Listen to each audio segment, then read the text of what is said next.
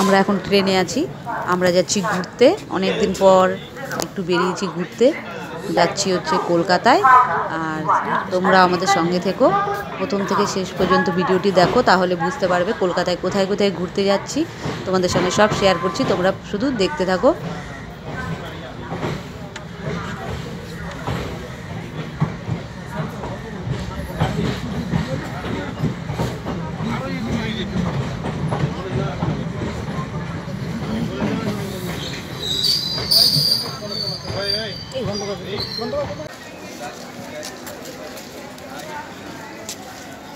আমরা এবার ট্রেন থেকে নেমে গেছি। এবার আমরা যাব আমার দাদুর বাড়িতে। তারপরে সেখানে খাওয়া দাওয়া করে ফ্রেশ হয়ে তারপরে এবার বেরাবো একটু ঘুরতে।